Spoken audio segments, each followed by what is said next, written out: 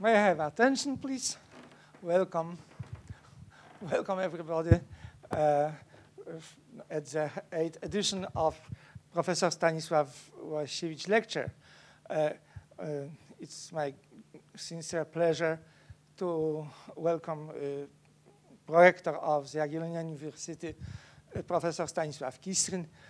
Welcome, uh, welcome our Dean and his deputies. Uh, welcome our guests from uh, other universities and even from abroad. Uh, welcome everybody. But first of all, welcome our lecturer, Professor Luis Caffarelli from Austin, Texas. Uh, I think uh, that uh, I have to um, say about the lecture, uh, lecture and the lecturer himself. Uh, concerning lecturer, as you know, uh, he's one of the most uh, powerful contemporary mathematicians. Uh, he solved problem uh, that uh, for a long times could be, couldn't be solved by mathematicians. let me just mention his seminar work on Navier-Stokes equations, and uh, everybody of us knows that uh, full understanding of Navier-Stokes equations is one of the mm, Clay uh, mathematics millennium problems. Uh, he's uh, widely known and recognized as a world-leading specialist in uh, free boundary problems of partial differential non-linear equations uh, with his collaborators. He authored uh, about 300 uh, scientific publications of the subject. So uh, such things couldn't be awarded. And let me mention some of these awards. Uh, maybe we start with Shaw awards in May 14. Uh, Shaw uh, awards have been announced, three of them, and only one in mathematics, and just uh, this award came, goes to Professor Luis Caffarelli. The official ceremony uh, to be held in uh, Hong Kong on September 26. Congratulations. Uh, before that, there were some other very uh, famous awards. The Rolf uh, Schock Prize from the Royal Swedish Academy of Sciences, the Steele Prize for uh, Lifetime Achievements from the American Mathematical Society, and the Wolf Prize in Mathematics from the Rose Foundations, and much more. He's a member of the American Academy of Arts and Science and the National Academy of Sciences. Uh, well, this is exactly what uh, uh, fits in uh, our Łojasiewicz lecture. As I said before, it is eight editions, and in uh, this moment it would be nice to recall uh, previous lecturers uh, all of them of the level of Shaw prices are Fields medalists. Some of them uh, really Fields medalists. Uh, they were Xing Tung Yao, Richard Hamilton, Bernard Malgrange, Neil Trudinger, Fernando Codá Marques, Noga Alon, and Artur Avila. And now is Professor Caffarelli. The chairman of this session will be our Dean, Professor Zwonek, uh, so uh, please proceed. Okay, so thank you for the invitation, for letting me speak. So I think that my role can be reduced to presenting Professor Luis Caffarelli once more, and uh, now we are listening to his talk, and the title would be Some Models of Segregation. Yeah, so please. Thank you very much.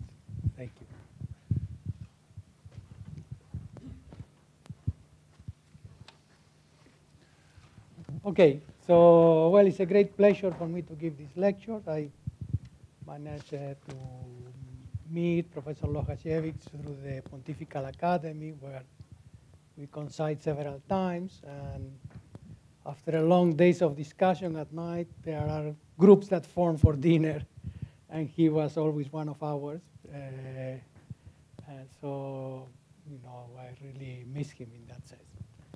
Uh, okay, so um, so let me start with a few generalities about segregation, and then I will discuss more or less the the main tools in mathematics that uh, are used in the theory and uh, give you some some glimpse of some things we have been doing lately in that area.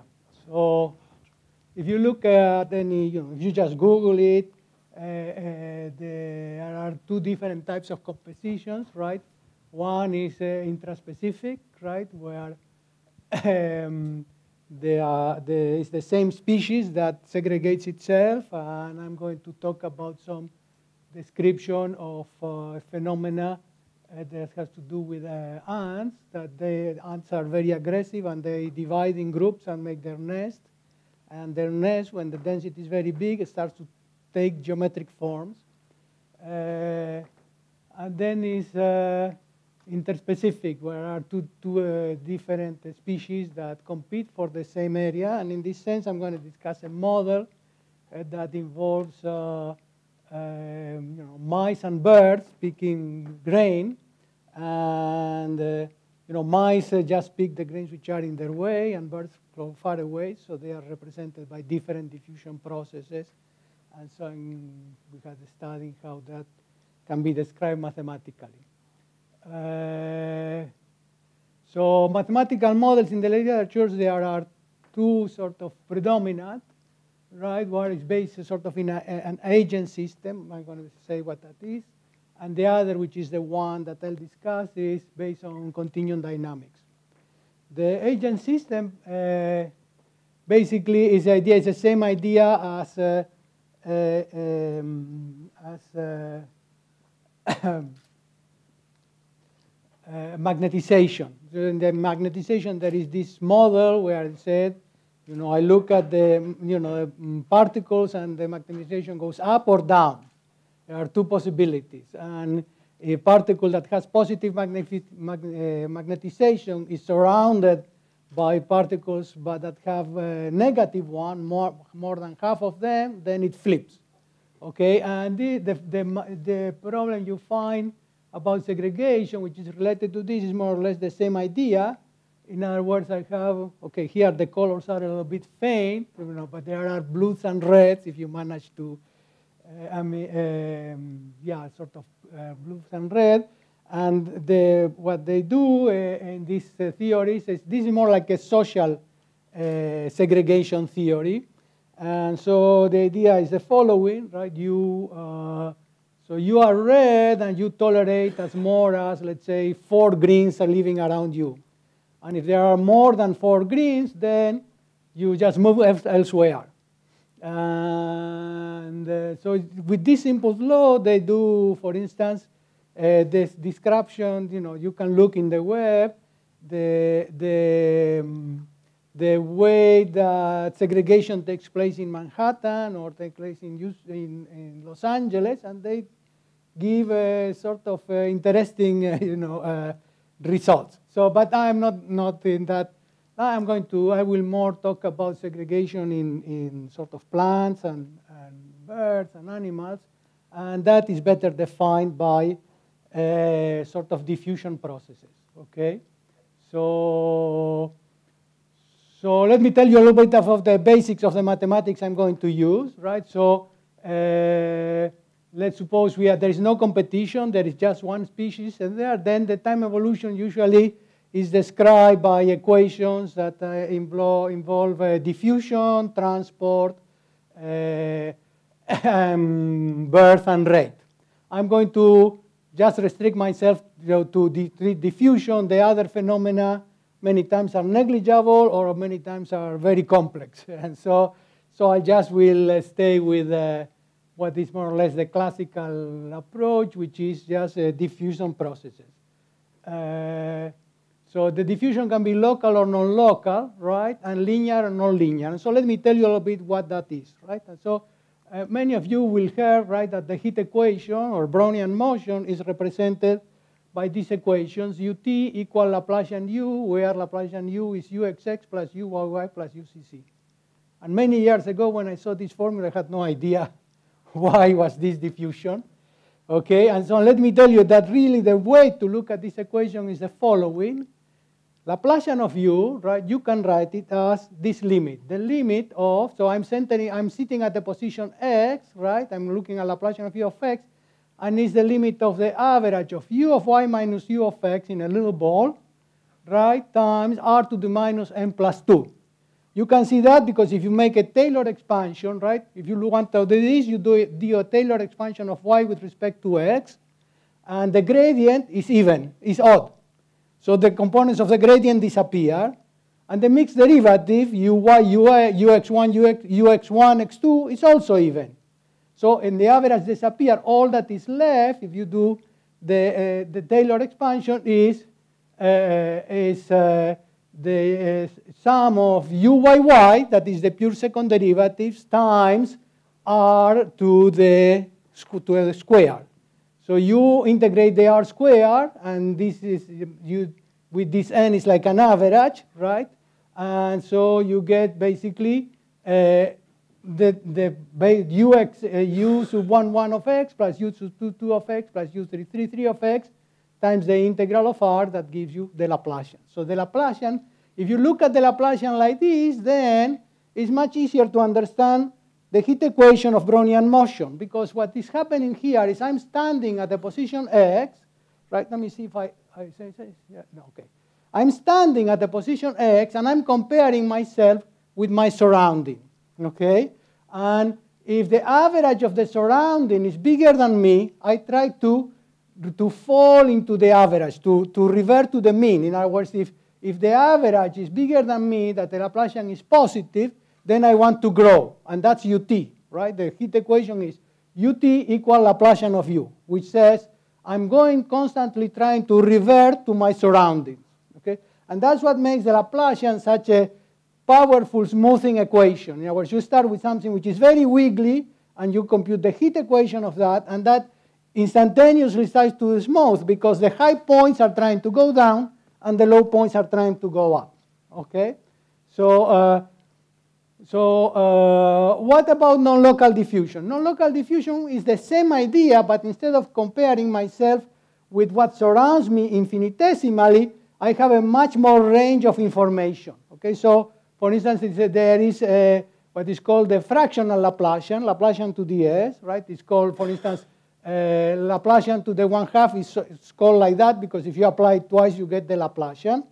Okay, and it's basically the same idea. In other words, I am at the position x, but now I have much further away large range information. In other words, now I'm not comparing myself with my little neighborhood and making it go to zero. I'm comparing myself with everything, right, with a weight that depends on my interest. In this case, the weight, which is the fractional Laplacian, says what is close to me is much more important than what is far away.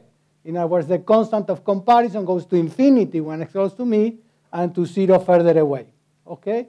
So, uh, so I'm going to uh, use uh, the Laplacian and the fractional Laplacian.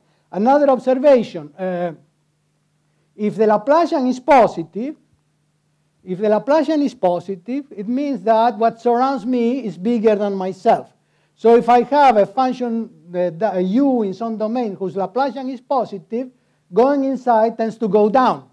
Because point by point, what surrounds you is bigger, so in sort of some sort of uh, has some sort of convexity, right? So it's not exactly convexity, but it's some sort of convexity, okay? And so positive Laplacian is called a subsolution because it's below a solution. Okay, negative, negative Laplacian the other way around. Okay, so uh, so so much for non-local. Let me talk. So, so let me say a little bit about nonlinear diffusions. Okay, Nonlinear diffusions appear in optimal control, uh, financial math, in segregation, in many areas. Okay, and uh, um, the idea of optimal control uh, for nonlinear equation is the following. uh, suppose I'm in a random medium and I want to have an idea of what are the uh, least or largest possibilities. Okay, so suppose I am standing here, right, and I have I do a random walk, and I want to know what is the probability I'll get the door, right? If the lecture is boring, you can try that. Okay, and so it's okay. Well, but how, what is your random walk? Well, if it's your random walk is always exactly circles, I get the Laplacian because I am get I'm following the average, right? But suppose you tell me, okay, I let you design this, the, I let you design your the, the, the floor, right, such that your uh, walk is has a different length in different directions. Okay, so mathematically that's saying like the instead of having the Laplacian, that is the sum of uh, UII, you have AIJ, UIUJ. In other words, if you, if you write that in the eigenvalues of the matrix A, means that at every point I have some, I, have, I can design the floor in such a way that, know, which is longer steps in that direction of that direction to uh, uh, have the biggest chance or the lowest chance to go through the door. Okay? So basically, if I want to see what is the biggest chance that I go through the door, right, I have to uh, I have to uh, I have to look at, at all the possible, I have to find a, a, solution U such that I plug all the possible matrix A, which as I look, put all the possible tiles in the floor with some restriction, right? I cannot do a tile that goes to the, to the door and jumps through the door. So the restriction is that the tiles correspond to a matrix that has a bound below and above. In other words, your, your tiles can be of length between 1 and 5 in any direction, okay? So this is the same as saying I look at Aij of, uh, of uh, Aij, Dij of u, okay? And if I want to, to see what is the smallest chance of going out, then I have to taste all possible tiles everywhere, and I have to take the infimum of all the possible solutions. Okay? If I take the infimum of possible solutions, means that the function is a subsolution for any operator I put. Okay? So it is it goes the probability goes down uh, with respect to any tiling I can do. Okay? So my promise, my my my my, uh, my what I have to do then is I have to find a way to solve uh, the problem, minimize among all possible elliptic equations that you can cook up. Okay? And this seems sort of, uh, in principle, the first thing is this is a crazy thing. What, what are you going to be able to say of that? So the first observation, right, is that you at least can write a nice formula for it because you can say, well, okay, the best configuration, the smallest one, right, is called a Pucci operator, right, and consists of the following. I have to find a function u, right, such with the same following property. I take u,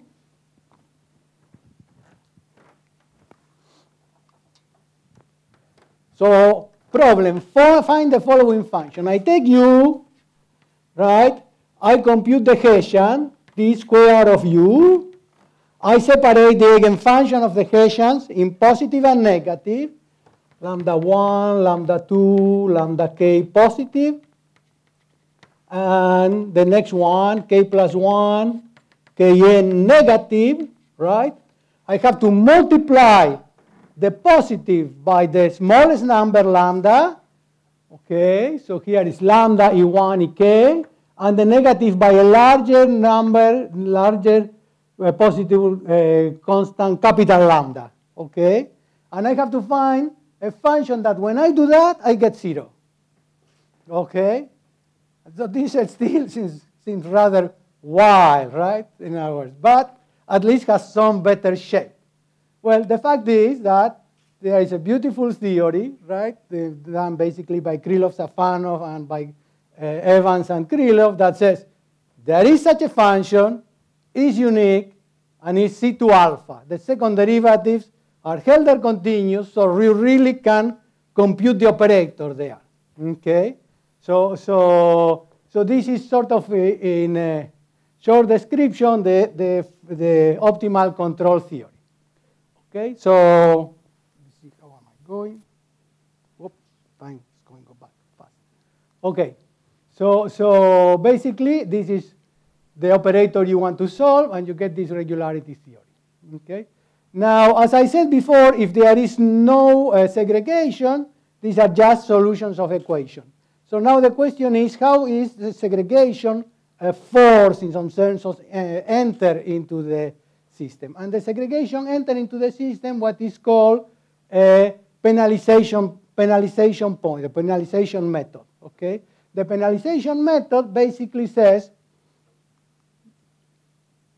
the following. Uh, let me go back. So the penalization method consists on putting a right-hand side, which is very positive when u1 and u2 overlap. Okay? I told you a little while ago that if you have the Laplacian with a positive right-hand side, that forces the function to go down. Okay? So if I have a function with positive right-hand side, and I, that, I make the, the right-hand side very, very big when u1 and u2 are different from 0, this is going to pull the solution more and more. Okay, so just to give you an schematic, schematic 1D picture, right, to give you an idea what happens, then uh, you see, uh, uh if you just have u1 and u2, Laplacian of u1 and Laplacian of u2 equal to 0, right, that in one variable is uxx equal to 0, so you have two lines, right, in other words, you put boundary data 1 here and 0 there for the blue, one here and zero here for the rest, and they don't see each other, just are two lines, okay? If you put some moderate segregation, then they start to see each other and both bend down, right? Because both start to have a positive Laplacian. So this is like moderate segregation. And then if you let m go to infinity, then uh, uh when, when uh, then you, the set where u1 and u2 overlap becomes zero. They cannot overlap because there, if not, you have an infinite thing pushing down. Okay? So basically, at that point, the, the term m of u1, u2 just is I have shrink into the zero point of both, and it's a delta, Dirac's delta there. Okay, so when m goes to infinity, then you end up with u1, which is satisfies the Laplacian of u equal to 0 here, and u is 0 here, and U2 satisfies Laplacian of U2 here and is zero there. Okay? So this is a segregation, a strength segregation, and produces an interface, produces a free boundary that separates U1 from U2 or U from B, and that we want to know where it appears, how regular it is, how, uh, how uh, stable it is. Okay, so this is sort of a scheme of the, uh, of the segregation theory. Okay? So there is extensive literature, you know, Dancer, Hilhorst, Mimura are the first ones that propose methods of this type, right? In other words, to have a family of uj, and you put a penalization for every ui and uj, and study the model, okay? A few years ago, I started a collaboration with Fanghua Lin, where we sort of advanced uh, uh, the, this theory considerably. Uh, basically, uh, mm, we introduce, uh, um, so, so we look, for instance, at multiple segregation where you have several species, right? And some segregate with other, but not with everybody. And so there starts to be sort of common regions for ones, common regions for another, uh, and problematic thing. Another application we did was to harmonic maps. Harmonic map is a map, right, from what, but singular harmonic map is when you map in geometry a domain in a harmonic fashion, minimizing energy, into a family of disjoint lines. If you do that, right, in our words, harmonic maps usually go from a nice domain to a nice domain, and then there is all the theory of geometry. But if you have take a nice domain and you uh, uh, um, uh, map this into lines. In other words, the point here can go into this line or this line. Then when they go into one line, they satisfy a nice equation. When you go into the other también, but the, I'm sorry, but there is some some thing, some surface that separates the points going here from the points going here. Okay, and that has pretty much the structure of, uh, of, uh, of a segregation map. Okay?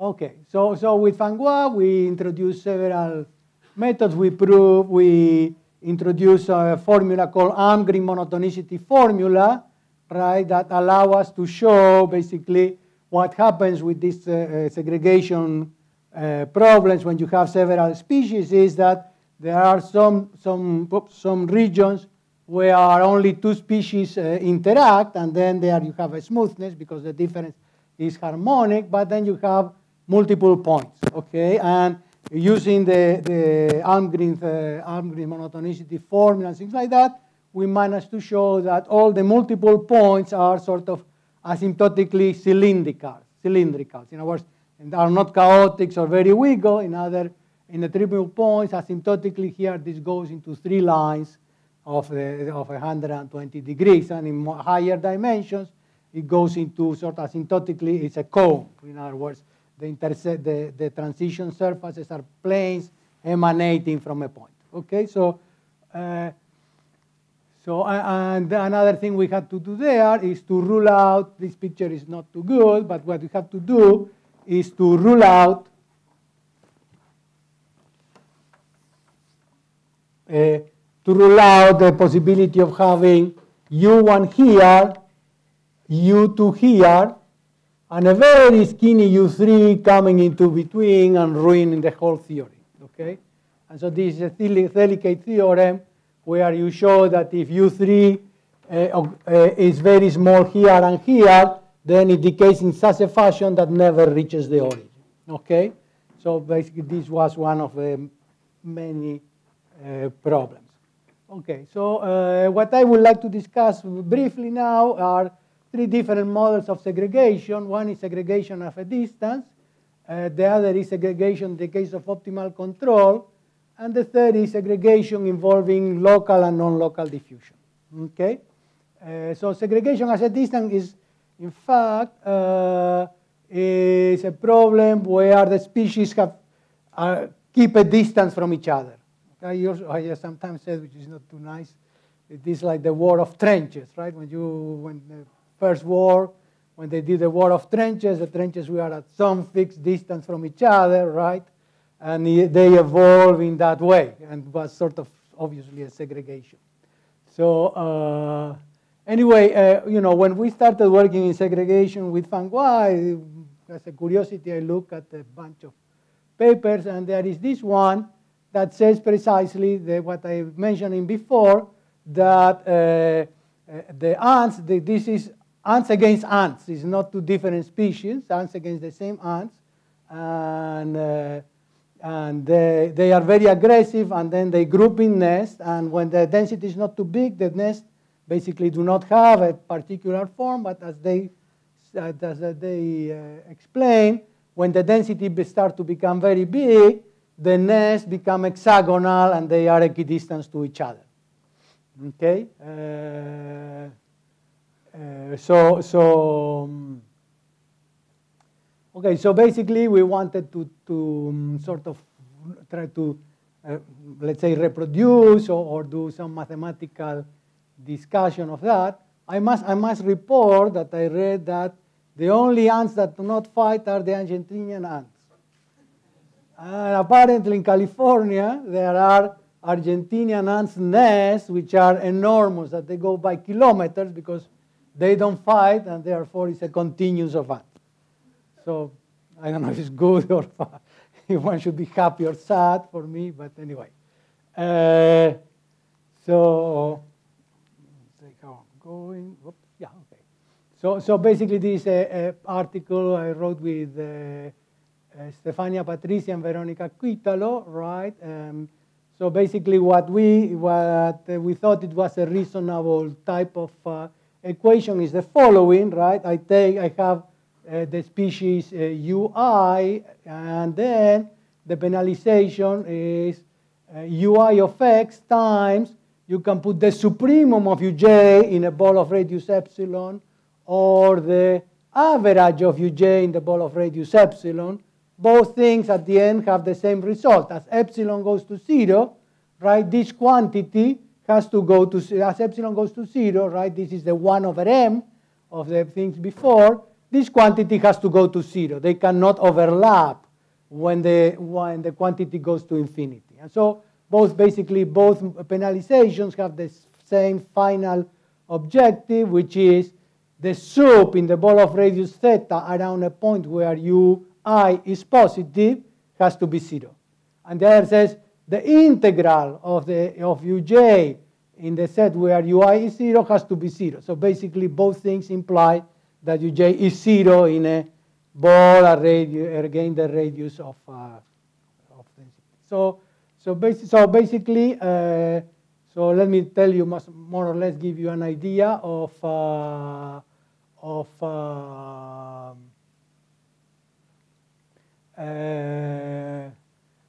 um, of how the theory went. Okay, so basically we wanted to build a solution. So basically the, the configuration more or less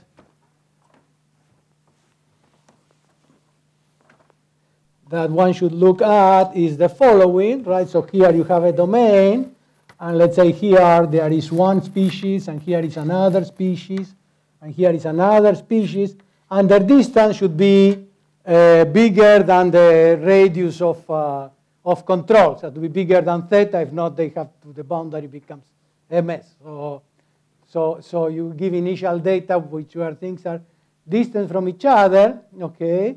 And then we use a fixed point theorem to show that the epsilon problem has a smooth solution, and the solution is, is Lipschitz independent of epsilon, and then you take a limit of a subsequence.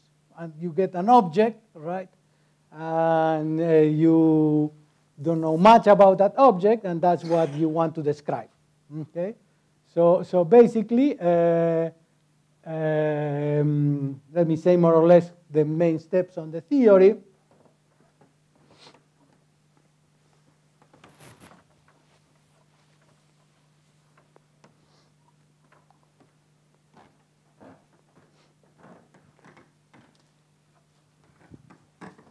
So you do the first step, right, and you find that there is some limiting function.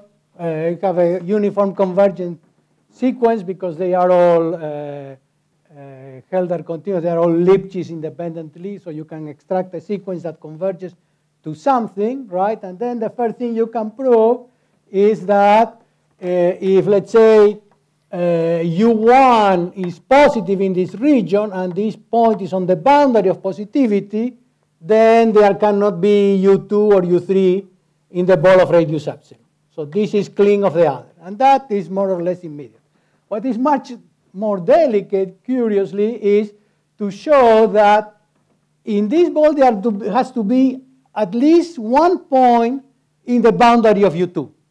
In other words, U2 cannot be, is not far away from this ball. There is at least one point here, right, which is in the boundary of the set where U2 is bigger than zero. Okay, and this has an enormous geometric uh, uh, geometric um, consequence because that means that the set where u1 is bigger than 0 has at every point a tangent ball from inside, outside. If we will have a tangent plane, that would mean that the set is convex. So this set is sort of almost convex. Okay? Uh, uh, so this is the first observation. And then the second observation is that, in fact, at every point, the solution has a tangent cone. In other words, you take, so the, the next observation, right, is, is you take at every point all the points at distance. So you have your point, you have your ball of radius theta. Here u is positive, right?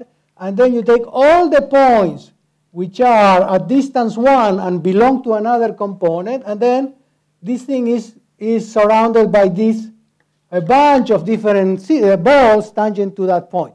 You can show that the alignment of these balls is such that the cone associated to this ball is a convex cone. So your solution is almost convex or quasi-convex everywhere. Okay. The next observation is that there is a balance between opposite points. In other words, if I have that the cones, you know, I have the, the tangent balls that generate a cone here, right? And then I have this ball of radius 1, right? So basically you could say, okay, here anything which is in this quadrant, right, can provide me with a tangent cone. And the answer is no. The answer is that if I have this, this, this, this ball, then here the only points that, that appear are this one and this one. This will be in 2D, in more this the same. In other words, this cone has here associated another cone and another cone. And this part is empty. Okay, so that means that the points in our boundary have the, the, the, the, following geometry. In other words, you have, or you have a regular point, and if you have a regular point, then you have that, uh, the solution. So when the points are regular, the solution between two components are exactly at distance 1, point by point, exactly at distance 1. Okay? And they are smooth, right? And in fact, you can prove that there is a balance between both sides. And the balance between both sides is that the product of the curvature, or the ratio of the, the curvature times the slope, right, is the same at both sides. In other words, if the mean curvature here is, is uh, bigger, then the density of population is smaller. If you are like surrounded, in other words, if your, if your surface is the one with the more curvature, then the, the species here puts higher, uh, higher uh, densities, okay? So there is this perfect balance of densities, densities times curvature for both sides, okay? And if you have, if you look at the singular points, then the first thing to do, the first thing you can prove is that the number of singular points is finite. And the reason is the following, oops, the reason is the following, right? Along here, if you take distance to the one half, distance to the one half is a curve which is equidistant from the red and the blue because the distance is one. So distance to the one here, you have a line which is distance to the one half. But when you get here, distance to the one half of the red curves around, and distance to the one half of the blue curves around in the other direction. So that means that whenever you have a singularity, you have this extra region that belongs to nobody. And since the sum of the extra regions is finite and the extra regions have positive, fixed positive density, the number of singular points is finite. Okay, so you have really this picture, which is as close as, you know, I, I here look at uh, squares that could be, uh, you know, ex, ex, hexagons. In other words, you can have uh, um, more the, uh, more uh, uh, singularities coming to the same point, but they all are of equivalent uh, angle. They are all of equivalent angle because if the angle is bigger, then you have more resources. If you have a harmonic function and you take an angle, and when the angle is very small, then the function decays like a big power. When you are in the middle, it's linear. When you are in between, the power changes. And the powers uh, here in, and in the opposite point has to be the same. So the angles basically have to be or this 4 or 6 or 8 or whatever. Okay, and basically that's as much as, you know, this is what we, the description we gave for that problem. The second problem I wanted to discuss, okay, we are more, I may go to 510, but I think I started by 410 at least, okay. So the, the second one has to do with a model for fully uh, for segregation of fully nonlinear equations. Uh, uh, this you can think of it as a, in a, as a problem of buyers and sellers, right? If you have uh, buyers that buyers want to to have a diffusion uh, to find out what is the diffusion that gives you the smallest price, and sellers the one that gives you the largest price, right? And so so this is a pro as we see I will mention before that you can apply what I say to the buyers and seller models. But if you want to think on, on sort of a natural segregation, a natural segregation will be the following. The, uh, if you have uh, uh, plants competing for light, right, and you are, let's say, a tree and surrounding trees, you are not worried about the trees which are shorter than you. You are worried about the trees which are higher than you, okay? And so you will have a diffusion process where the, which is exactly the fully nonlinear. The, the part of the average which is bigger, you weight more than the part of the average which is smallest. And so you get like the optimal control equation, okay? So basically, in that, so basically, uh, uh, let me tell you what we, so, so, so this will be, it is a species, right?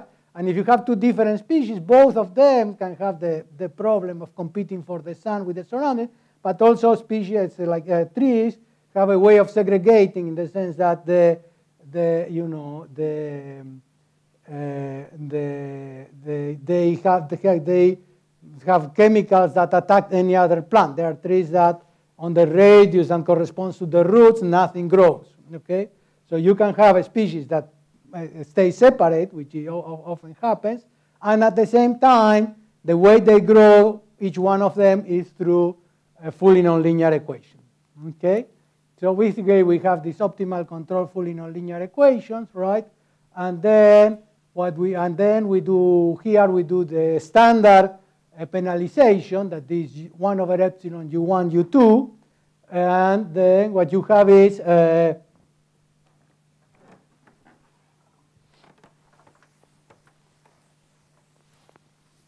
what you have is two adjacent domains, right? So you have this adjacent domain, and here you have uh, um, you have here a species u1, and here you have a species u2 going up 2, right?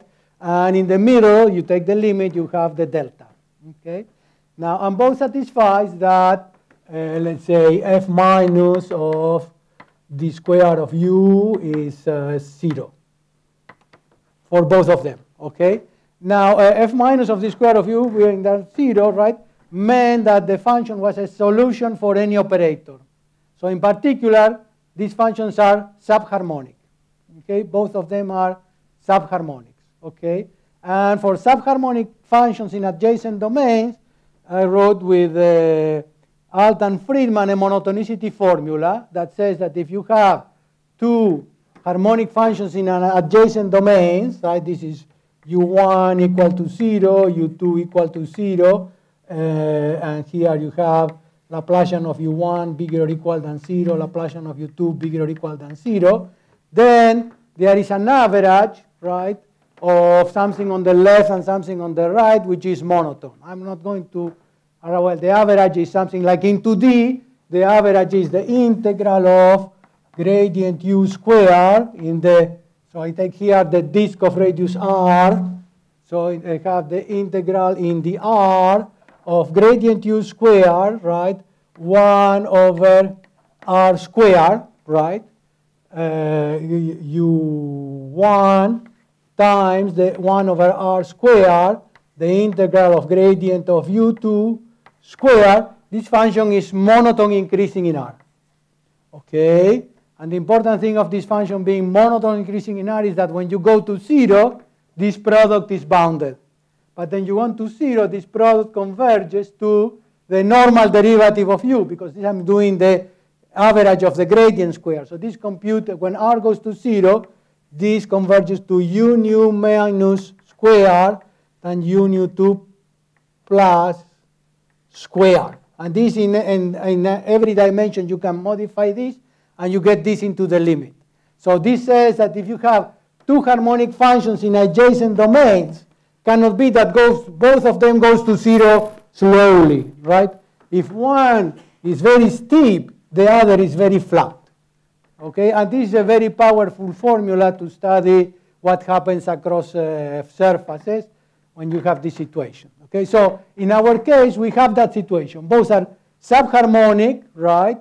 Uh, and therefore, the normal derivatives of both cannot be large. If one is large, the other has to be small. Okay? And the other thing that you can observe is the following. If I take here the positive part, and then I flip the negative part, the penalization disappears, right? The penalization, because the penalization was just u1 times u2 over epsilon for both. So in other words, there is no penalization, but here the function satisfies one extremal operator, that f minus, right? When you put the large constant on the positive and the small constant on the negative, and here it satisfies the opposite. Large constant on the negative, because I flip it, small constant on the positive. So you have a, a, a sort of a strange thing where you have this fully nonlinear operator on one side that naturally continues to the opposite fully nonlinear operator on the other. And you wonder if still you can talk about regularity and so on. So, so all of this, what I described, was basically on the thesis of, uh, of Veronica Quitalo. Uh, uh, so, uh, and she showed then that, so when you have this situation, then you can show that on one side, this function is a solution on one side for the, for the well, what's the picture is really the other way around, right? It's like that and like that. This is subsolution of one operator and solution of the other. And this is super solution of one operator and solution of the other, and vice versa. So there is a theorem of, of uh, the, the Harnack inequality of Krylov and Safonov that says that if you have a function which is super solution of, an, of a bounded measurable uh, coefficient and subsolution of another one, although they are disconnected, the function satisfies Harnack inequality. Okay? And so what you can deduce here is that the, the, whenever there is a tangent plane for the other, there is the same tangent plane for the opposite. Okay, so you get Lipschitz and that property. And so we retook uh, recently the problem. Uh, and we work, I work with Patrizi, Quitalo, and Torres. And then what we show is that if you if the u goes to zero faster than linear, goes faster than linear on both sides. And there you cannot say much there because it's very degenerate. But if one of them goes in a linear way, uh, at most has to be linear because solutions are Lipschitz. So if one of them goes in a linear way, then both sides have a common tangent plane. Okay? So the solution is sort of C1 across the boundary. It's not exactly C1 because the tangent plane cannot, you don't know how it changes. And then the next thing we did is we proved that in fact the free boundary is C1 alpha when it's in, in a neighborhood when it's non-degenerate. In other words, if you have a point where the two functions come with non-degeneracy, then in a neighborhood of that, the free boundary is a C1 surface, and the two functions are C1 alpha, and they coincide with each other. Okay, so we get regularity of the interface and regularity of the solution. And uh, so this is what I just say, and um, this is what I just say. And then the way we do the free boundary regularities, we use a method that I developed sort of uh, 20 years ago or more, right? Which is, I call it the Harnack inequality approach to the regularity of free boundaries, where you take some sort of variable uh, averages and show that uh, using this aver uh, variable average, you can show that the oscillation of your free boundary in many circumstances gets smaller and smaller. So anyway, let me, uh, okay, so let me talk a little bit about the third problem. So the third problem uh, uh, is this problem of uh, the interaction between local and non-local operators. In fact, I have been working a lot because I think it's a very sort of uh, interesting topic when you have um, uh, two operators of, of, of different order uh, interacting together. Okay, so for instance, one example is transmission conditions. Transmission conditions, no free boundary. You have a surface where two different equations comes together, and instead of having independent boundary data, they have a boundary data that connect them. Because U1 satisfies the Laplacian, UT satisfies another operator, and they are continuous across, and their normal derivative, the difference of the normal derivatives are 1.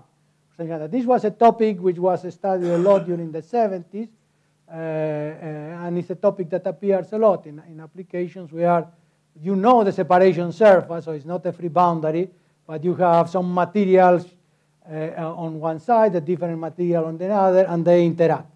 And this, well, in the 70s was all two second order operators, and uh, uh, Dennis Kriventsov, a student of mine, did a beautiful thesis where I told him, uh, you know, there is this, uh, the quasi-geostrophic equation.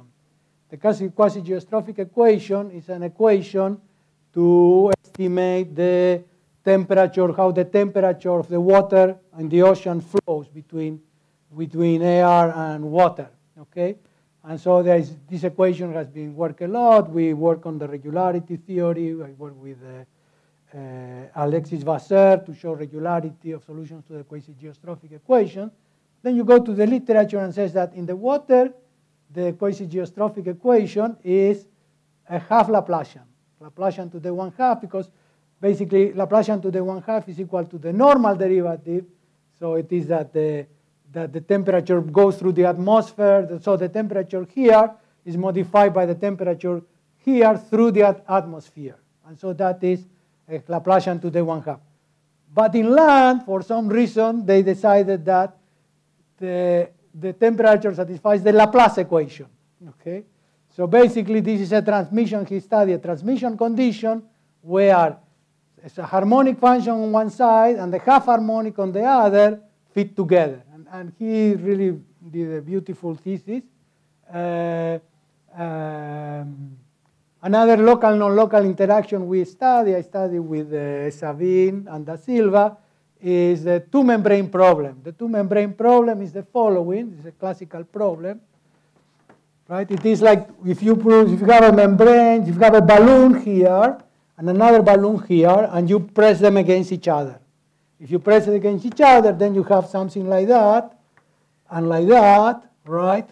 and then these are like each one is an obstacle problem from the other. In other words, this acts as an obstacle from this and vice versa. And if both of them are, let's say, the Laplacian, then you can reduce it to an obstacle problem, take the difference, and basically uh, you use the standard theory. But we decided to look, you know, we, we uh, so, so for instance, that will be two balloons. Now, if you have, I think in their letter, they gave this analogy many years ago. If you have a boiled egg and you press it with a film, right, then this satisfies the Laplacian, but this satisfies the half Laplacian, okay?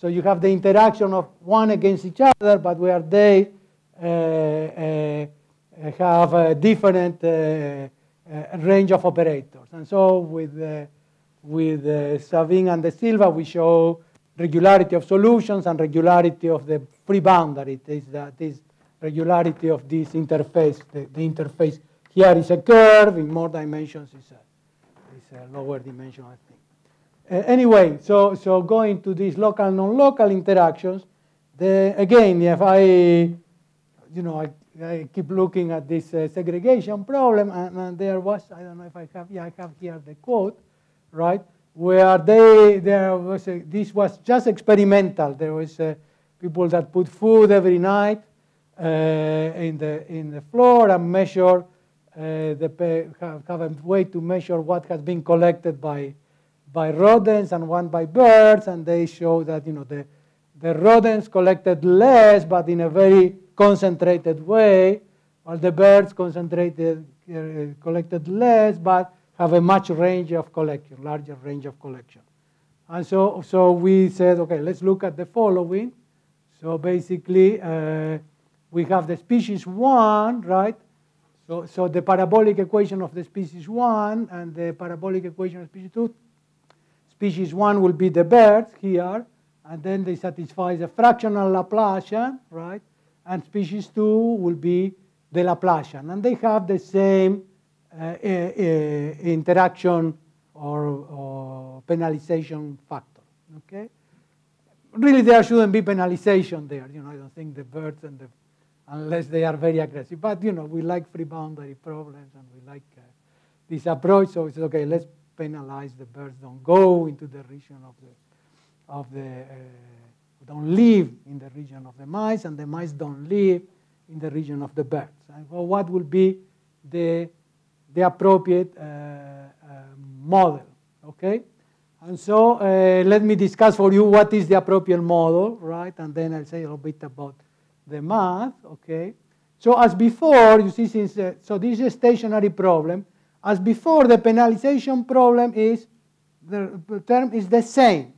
So if I make the difference between u1 and u2, Laplacian, half Laplacian of u1 minus Laplacian of u2 is zero because the penalization term has canceled, okay? So basically we have that first observation, okay? The second observation is that when, uh, when uh, that, uh, well, the second observation is that they are disjoint, right, because of the penalization, uh, if large penalization, right, U1 and U2 cannot share a common place. So U1 and U2 are disjoint. U1 lives here, U2 lives here. So U2 lives here, right, and satisfies the Laplace equation. So when U2 is 0, the Laplacian of U2 is 0.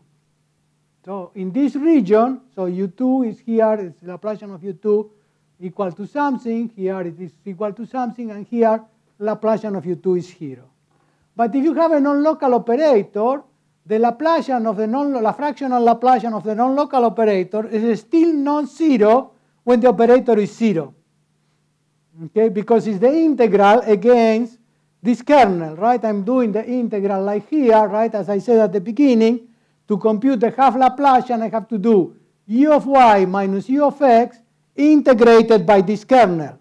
In other words, u1 here is 0, but still this fractional Laplacian is strictly positive because this is uy is positive and ux is 0. What is the meaning of this? Is that u1 doesn't live here, but u1 can collect here because the Laplacian is that it collects, right? So the Laplacian to the one half of u1 here is not zero. Okay? so the Laplacian of u1 here, so u2 is, Laplacian is positive. Well, we don't know Laplacian here, but here Laplacian is zero. u1 has Laplacian zero here, because it is here is where it is a solution of the fractional equation. But here, the Laplacian of u1 is non-zero, okay? So up to now, we are okay. The next one is then that the Laplacian of u2 here is the Laplacian of u1 minus the fractional Laplacian of u1 because we have this condition that says that the difference is zero everywhere. Okay, so basically if you go back to this picture, here the Laplacian of u1 is not zero because the fractional Laplacian of u1 is not zero, it's strictly positive because it's uy which is positive minus ux which is zero. So here is positive, and is exactly equal to the Laplacian of u2 from the previous the, from the previous observation that the difference of the operator is zero. So that means that u2 here has a non-zero Laplacian, it's not harmonic anymore. And the third observation is that u2 cannot form an angle here because the Laplacian to the one half of u1 cannot see a line. Laplacian to the one half is an integral of a kernel. An integral of a kernel in a set of dimension 0 is 0, which means that Laplacian of u1 here has no mass, and that implies that Laplacian of u2 here has no mass either.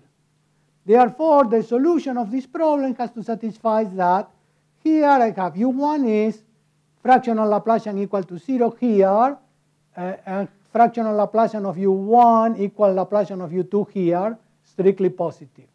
And u2 satisfies Laplacian of u2 strictly positive here equal to Laplacian to the 1 half of u1, u2 equal to 0 here, and the gradient of ut or the normal derivative of u2 has to be identically 0 on this line. Okay? So notice that in some sense this is saying that what u1 collects in this region, right, which is his half Laplacian, u2 loses it. Okay, other words, Laplacian of U2 positive means that U2 went down, right? So, so, so okay, so we wanted to prove existence, so we prove existence for this, uh, for this configuration. Uh, this is what I just discussed. So basically, this is the final picture. Let's say this is minus Laplacian of U1, and uh, so we did it, we work in a strip. In other words, you take, because it mathematically simplifies a little bit the things, right? So we said, okay, we have this strip here. The density of the birds is 1, and the density of the rodent is 0. Here, the other way around. Here is the mixing area. We have the interactions, and we have our free boundary. We can prove that the free boundary is Lipschitz, that uh, uh, solutions are smooth, and have some work on the free boundary, but let me stop here, because from here on it becomes uh, somewhat involved. So, so I guess this is basically what I was saying. Uh, there is, okay, this is more technical. You can, the half Laplacian of, of a function, you can, you can uh, describe by making a harmonic extension and looking at the normal derivative. Other words, the Neumann data is the same as the half Laplacian, and that allows you to say a bunch of things which I'm not going to enter. And thank you for your attention.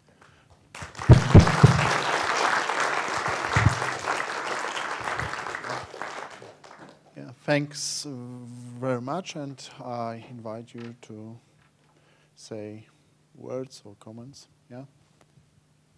Uh, if I can, I have two questions. Yeah. The, one is more, is more maybe more uh, vague. Uh, you understand to say that uh, particle creation annihilation is a phenomenon can be understood as segregation, but I don't. Well, that's what I felt. You know, I got to segregation because Burdzy, which is a probabilist in Washington State, in Washington State, came and said, okay, I have this system of particles that they are in two domains. When they get into a contact, they they annihilate, they annihilate each other. And I asked him, well, how, how is the balance there? And he told me exactly the balance of, of the segregation. Words, I have a density of particles coming from the right, a density of particles coming from the left. In the parts where they are free, they satisfy the diffusion equation. And when they hit, they kill each other. And so I, I asked him, I said, well, you know, the right model is you have that the two normals are the same. And, uh, and that's, and this is, but the, this is the classical, is not, you know, this apparently is a classical model for particle segregation. This is all I can tell you. Yeah. Can I have second question? Yeah. This, when you're talking, uh, I saw many geometric properties, many integrals, but I'm sorry, I cannot uh, put in my head the full picture what you need to uh, know from mathematics to do with this model because uh, I just don't know what what is the what uh, other branch of mathematics are connected to this research. Can you say some a few words about it? Can you make the question a bit more concrete? Uh, I don't know, differential geometry or uh, theory of integrals, what they are involved here, yes? Oh, what are the techniques that are involved? Well, I mean, there are a bunch that I collect. You know, I started with the obstacle problem like uh, 45 years ago. And there you have to develop uh, some, some bunch of estimates and discover uh, the geometry. Usually is, you know, you have, the equations are not uh, uh, equations, like the obstacle problem is the Laplacian, and in fact, the obstacle problem, let me tell you, for instance, if you look at the obstacle problem, which is one of the classical problems, right,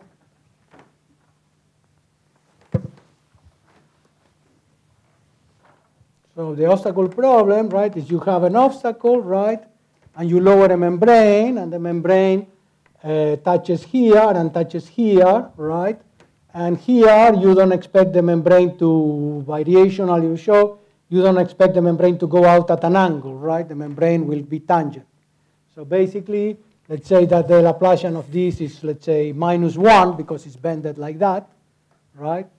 So we could say, as a first approximation, the obstacle has Laplacian of obstacle equal to minus 1. So what we have here is a surface such that Laplacian of u is here 0 because it's the approximation of a membrane that is not forced in any direction. Here the Laplacian of u is 1, right? And across the interface there is the Laplacian of u doesn't have a positive sort of distribution, okay?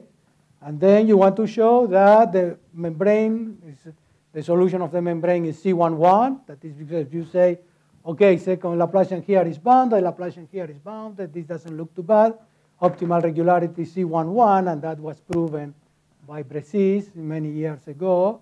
And then you said, okay, I want, I also would like to show that the, that the, you know, some stability of the set and some regularity of its boundary. In other words, you you expect the, you know, you expect the, the, the shape to be stable because the Laplacians are different.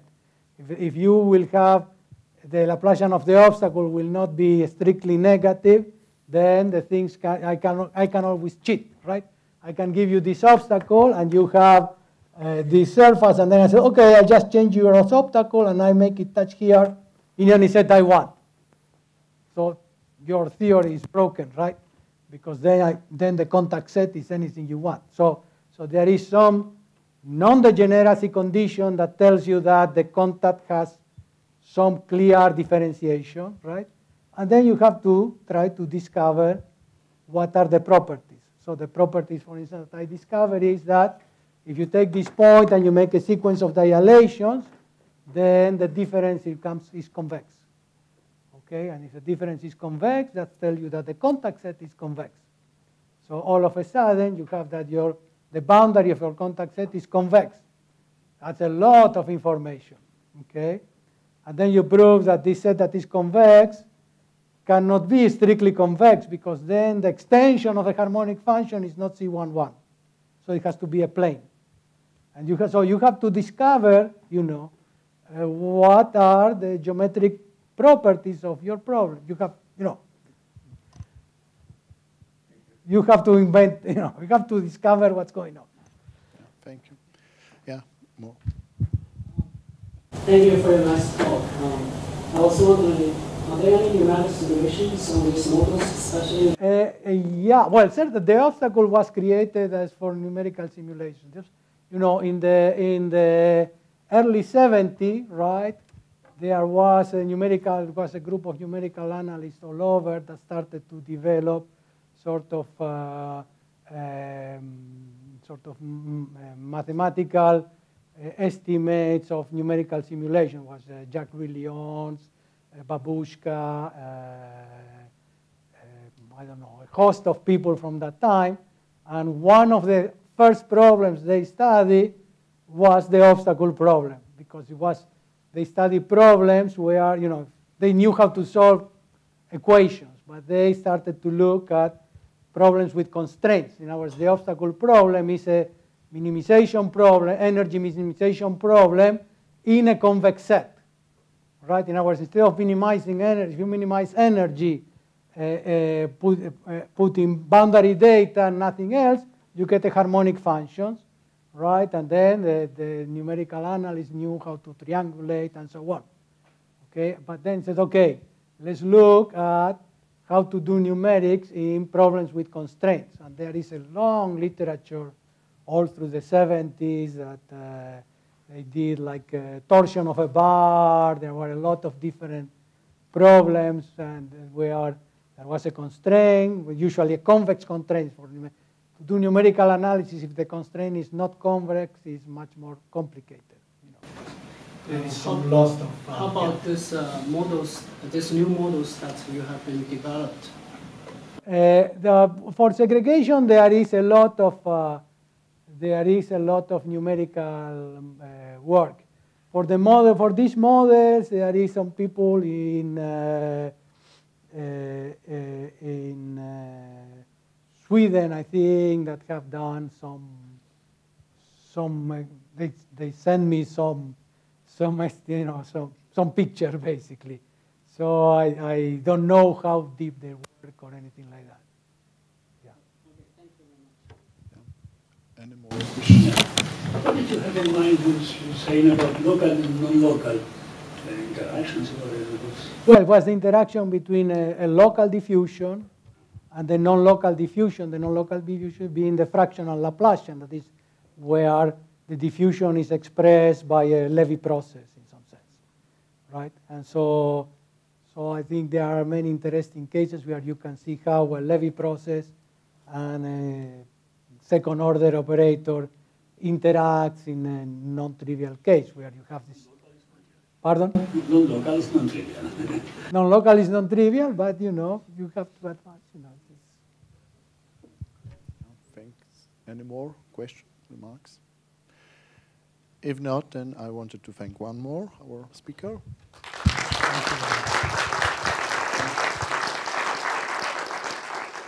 And I think that we may close this lecture. Yeah, thank you very much.